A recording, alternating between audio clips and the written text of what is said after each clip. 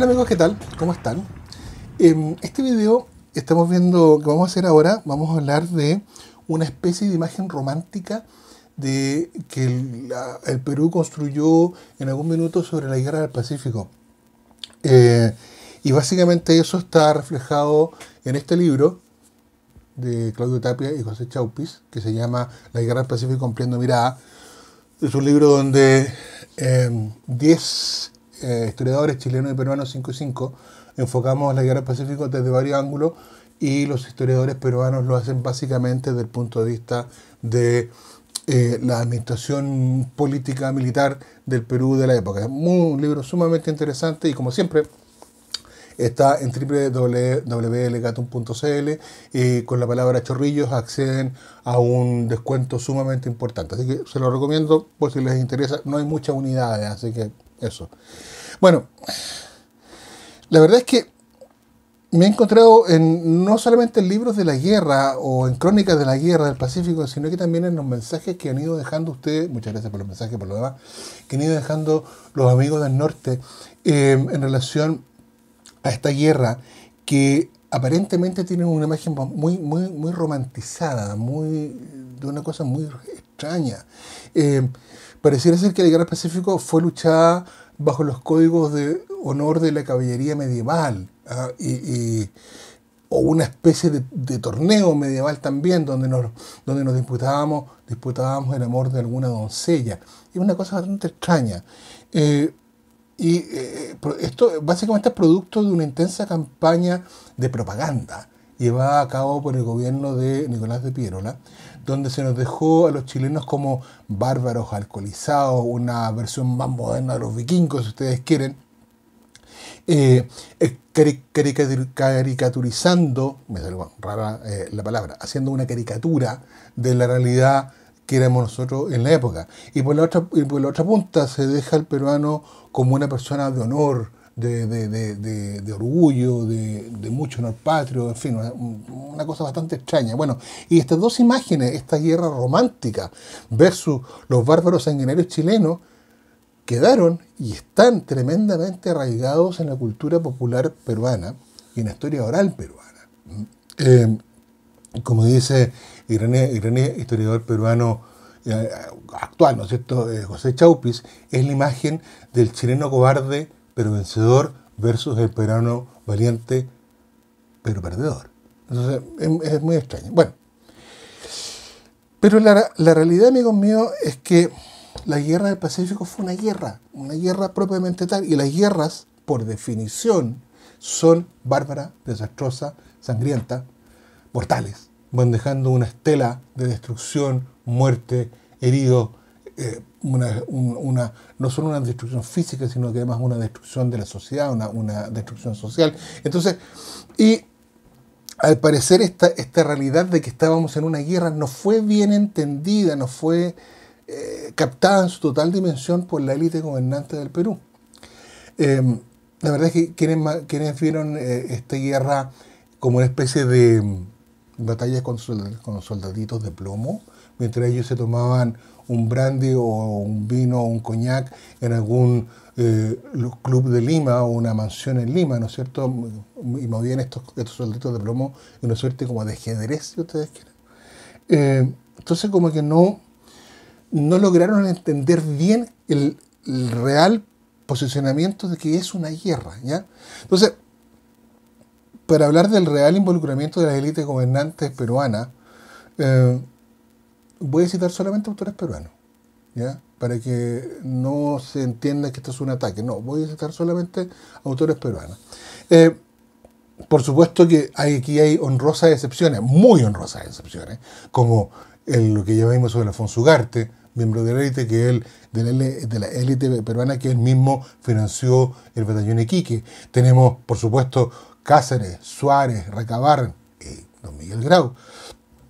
Pero la cúpula gobernante, los que estaban encima, al parecer eh, no, no, logró captar, no logró asimilar de que esto era una guerra hecha y derecha y no un movimiento de unos pocos soldados en armas. ¿ah? Fue una cosa bastante mayor. Bueno, em, Jorge Basadre gran historiador peruano, ¿no es cierto? En su obra La guerra con Chile 1879-1883, capítulo 7, nos dice lo siguiente, abro díjose de él, de Pirola, que colocó en el mando del ejército a sus propios partidarios, fueran o no militares.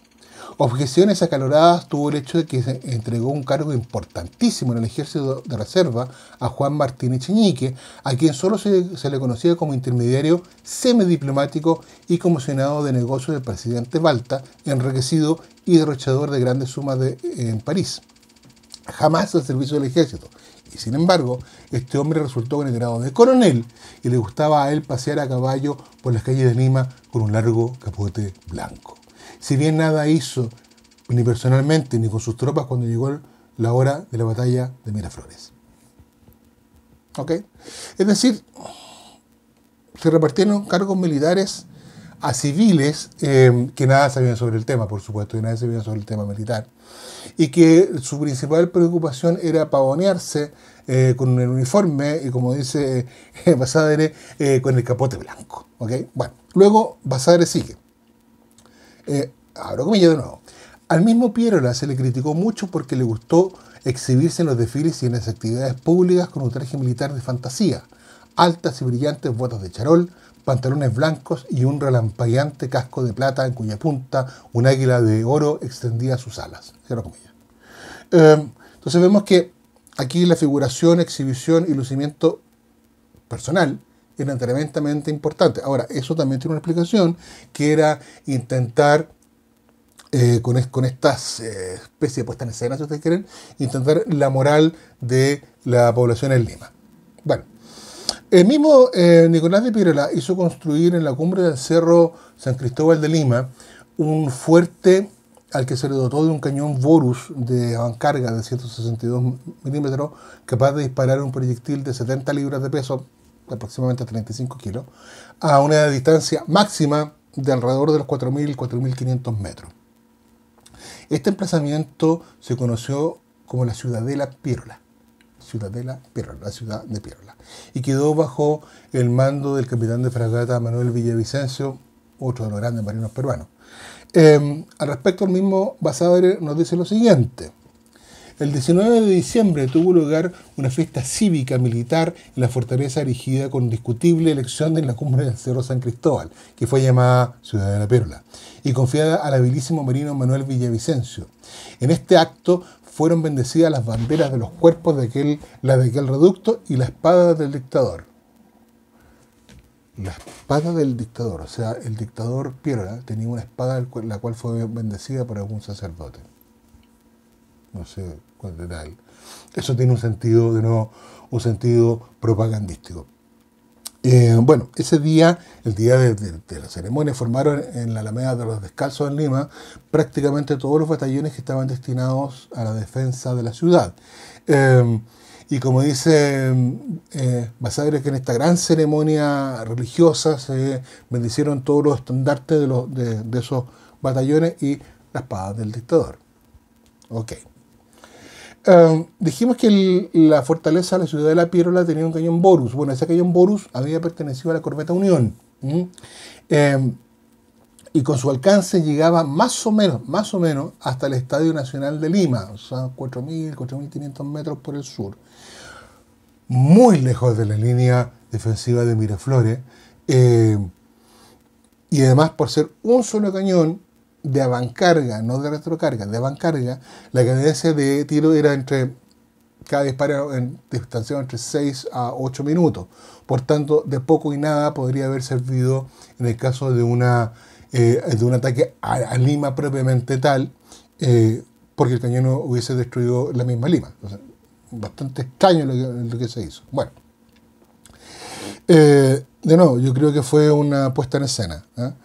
¿Eh? Eh, hay un libro muy interesante que recopila las cartas que enviaba Manuel González de Candamo e Iriarte, que luego fue presidente del Perú, a Teresa Álvarez Calderón Roldán, su señora. estas cartas fueron recopiladas, como digo, en el libro El Perú desde la intimidad y están están ordenadas por fecha de, la carta. Ah, desafortunadamente no hay respuesta, pero sí están todas las cartas que él le envía a su mujer. Y vamos a, ir repasando algunos, algunos párrafos que son sumamente interesantes. Tenemos una fechada en Lima, el 11 de diciembre de 1880, que dice lo siguiente. Hay batallones magníficos por su personal y disciplina, y te aseguro que tengo muchas esperanzas. Los chilenos, como te dije en mi interior, no traerán más de 24.000 hombres. Nosotros podemos poner una fuerza mayor, con la ventaja de que los nuestros estarán ocupando buenas posiciones arregladas de antemano. Es decir, aquí tenemos una definición de que el Perú va a poner más gente a la, defensa de Lima que los chilenos atacantes a Lima. Ok, sigamos con otra que también es muy interesante, que está fechada en Lima, diciembre 14 de 1880. Realmente sería necesario de que aquí se cometieran errores, disparates y barbaridades para no triunfar de un ejército de 24 o 25 mil hombres, pudiendo poner a uno de 30 mil o más con todas las ventajas de la posición protegido con buenas fortificaciones. Me he hecho nombrar, como te dije en una de mis anteriores, amanuense de la mayoría y, de ese modo, me libraré de hacer guardias y otras pequeñas incomodidades. Dulanto, mi coronel, es antiguo amigo mío y hará por mí todo lo que sea posible. Claramente él se enrola en un batallón de defensa eh, de Lima, eh, pero al mismo tiempo, no sé, no, no, no, está claro el grado con que él entra, pero al mismo tiempo se hace nombrar amanuense, eh, que es una especie de persona que entrega mensaje o que hace, hace otro servicio, para librarse de las guardias y otras pequeñas incomodidades. O sea, se enrola para, bueno, tener un informe y, ya, y no hacer cosas incómodas. Vamos, vamos a seguir. ¿eh? Lima, sábado 18 de diciembre de 1880. La mayor parte de la gente de aquí tiene gran confianza en nuestro triunfo y muchos creen que los enemigos no vendrán a Lima, pues al tener conocimiento del número de nuestras tropas y por la formación del otro día de las obras de defensa que se están construyendo, verán que la empresa es muy arriesgada y tendrán la prudencia de no acometerla. O sea, las obras eran tan, tan fantásticas que los chilenos íbamos a llegar a Lima a la línea defensiva en Chorrillo y iba a decir, no, esta cuestión no. aquí nos van a sacar la ñoña, así que mejor nos vamos. Sigo. Lima, sábado 25 de noviembre de 1880. Hay orden para que salgan algunos cuerpos de la reserva y el mío lo han dividido sacando a los abogados y gente de cierta posición que han pasado al de Ribeiro y dejando a esta gente apta para hacer campaña. También han cambiado de coronel y en lugar de Dulanto han puesto a Aurelio Alarco. En el batallón de Ribeiro, al que yo también he pasado, está reunida la gente más visible de Lima y tú comprendes el objeto con que se ha hecho esta reunión. Los cuerpos de gente del pueblo, que es la más aparente, apta para resistir las insolaciones, largas manchas y demás fatigas de una campaña, serán los que, servirán, ah, de reserva al ejército y los demás, como el nuestro y el de los muchachos estudiantes, quedarán en la munición en algún punto. Puede ser que salgan de Miraflores y allí ocuparemos todos los ranchos que sean necesarios. Cierro A ver, de estas cartas se desprende, primero, una confianza ciega en la victoria. Estas son cartas de un peruano, no estoy inventando nada, por favor. Se desprende que una, había una confianza, una confianza ciega en la victoria porque había una mayor superioridad de efectivos defensores que ofensores más aún en la inexpugnabilidad de las defensas. Incluso se llega a plantear el convencimiento popular de que los chilenos no atacarían porque la empresa era muy arriesgada y tendrán la prudencia de no acometerla. Por Dios que fuimos imprudentes, po. Bueno, además se nota claramente que la oligarquía peruana, la aristocracia peruana, como ustedes le quieran poner, usó todas sus influencias para hacerse nombrar cargos militares que, que facilitaran la vida, la vida de cuartel, digamos, y no tener que ser guardias. ¿De qué estamos hablando? O sea, si yo me enrolo para la defensa de mi, de mi capital, de mi ciudad, las voy a hacer todas. Pero lo más terrible de esto es que es la, aseveración de que em, que juntaron los batallones con, gente, con la gente más visible de Lima, es decir, con la gente de bien, la gente aristocrática, la gente de la clase superior, em, que quedarían en guarnición mientras que la gente del pueblo, aquellos que son la más aparente para resistir las insolaciones, largas marchas y demás fatigas de una campaña, serán los que servirán al ejército. O sea, la carne cañón, los que van a morir. ¿ah? Ellos no, porque ellos son gente de bien. Bueno, este es el reflejo de la misma separación de las clases sociales peruanas de la época. ¿ah? Estas dos grandes clases, los, indios, los de abajo, y los superiores que eran ellos, la, aristocracia, todos los apellidos compuestos. Eh, la gente de bien, amigos míos, no se ensucia las manos, no, no hace guardia, no, no, no hace esas fatigosas marchas. La gente de bien se queda en un puesto esperando algo. La gente del pueblo es la que tiene que ir al combate. La gente del pueblo es la que tiene que morir. No ellos, por supuesto. Perdonen que sea irónico, pero um, uno lee esto y la sangre se le, sube un poquito a la cabeza. Bueno, cuando la gente de bien, como, como afirma Candamo, se enroló en la defensa de Lima, por tanto, ellos debían estar orgullosos de, haberlo hecho, ¿no cierto? Yo voy a vestir uniforme, voy a defender Lima, defender entre comillas, pero al mismo tiempo el compromiso llegó hasta ahí nomás. ¿ah? La gente de, bien no iba a dar su vida por Lima. La gente de bien hizo de nuevo esta pantomima, esta suerte de operita, si ustedes quieren, para verse bonito. Em, ahora, en rigor, en rigor, en rigor, mucha gente de bien em, sí defendieron eh, su ciudad, sí estuvieron en los reductos y sí murieron.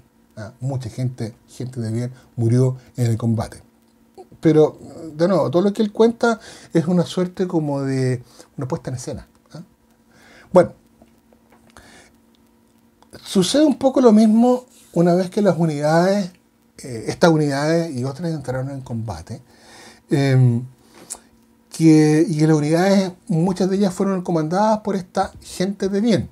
¿ok?, eh, vamos a ver un extracto del parte de combate del coronel Bareno Vargas Quintanilla, que fuera el comandante militar del Valle de Ate y que mm, resistió el ataque en Rinconada el día 9 de enero de 1881 y le da un parte al Estado Mayor General que empieza de la siguiente manera. Vamos a ir haciendo extracto para ir analizando parte por parte.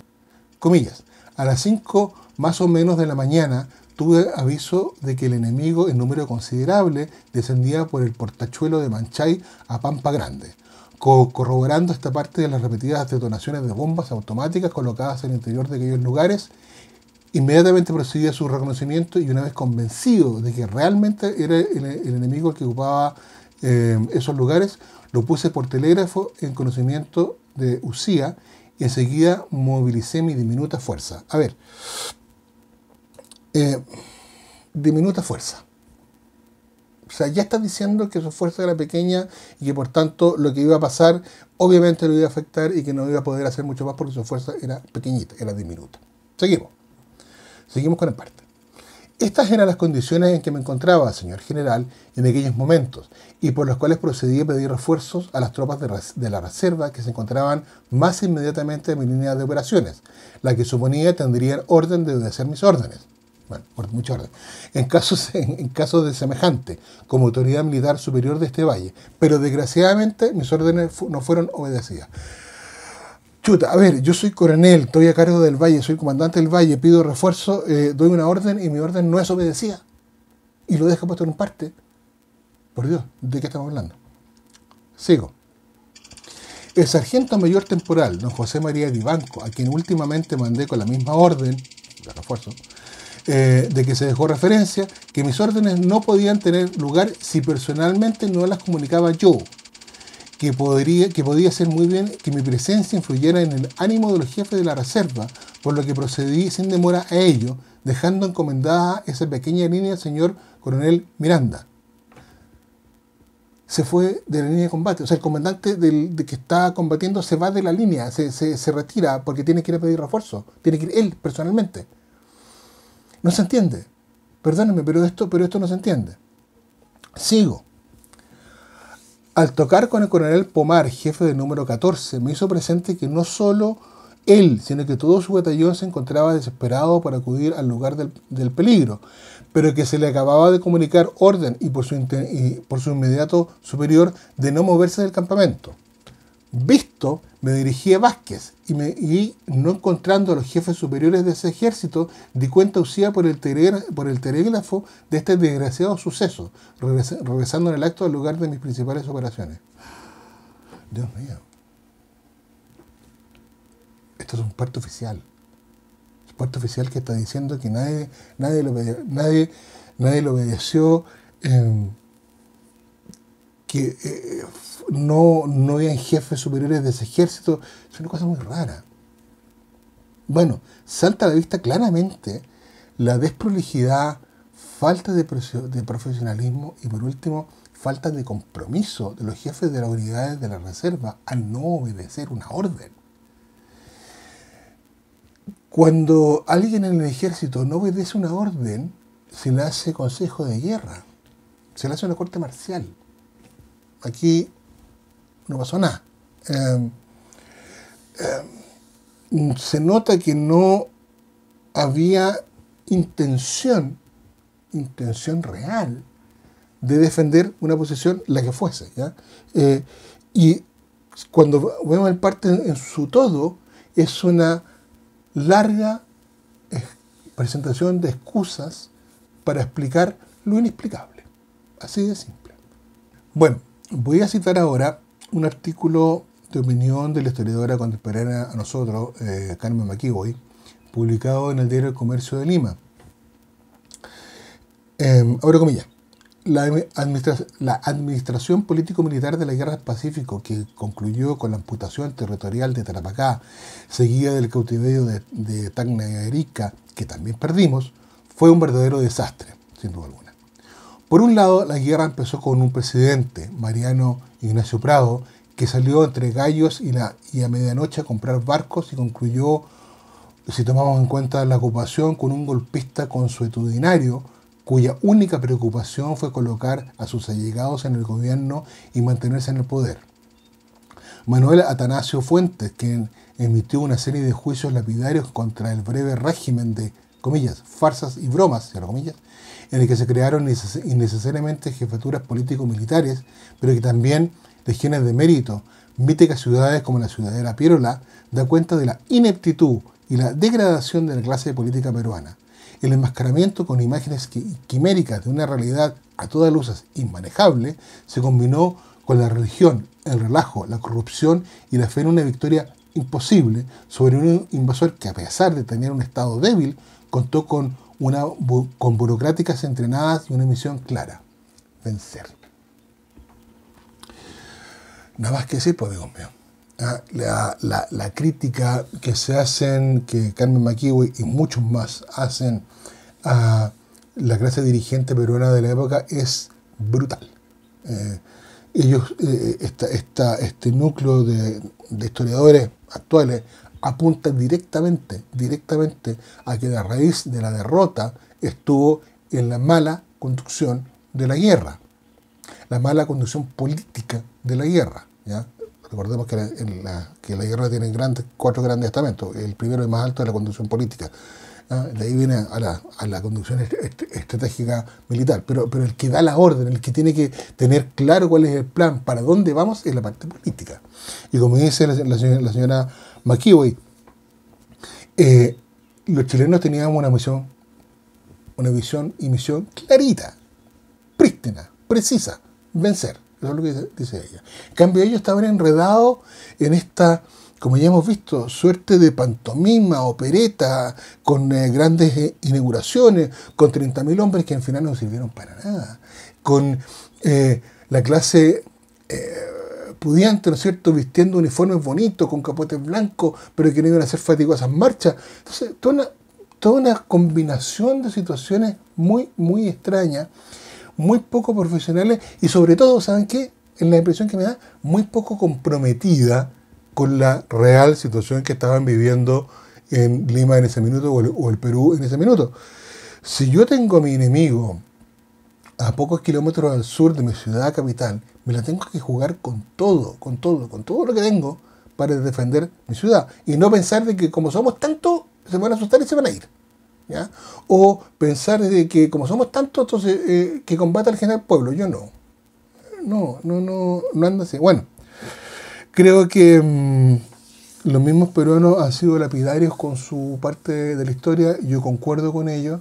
Eh, ustedes saben que a mí no me gusta meterme en la historia interna de, otros países, pero sí he leído harto al respecto eh, y creo que efectivamente eh, se cometieron errores garrafales, no solamente en el plano político, sino que también en el plano personal. La falta de compromiso era obvia y esta suerte de no ver la guerra como una guerra, sino que como una especie de torneo medieval, como dije al principio.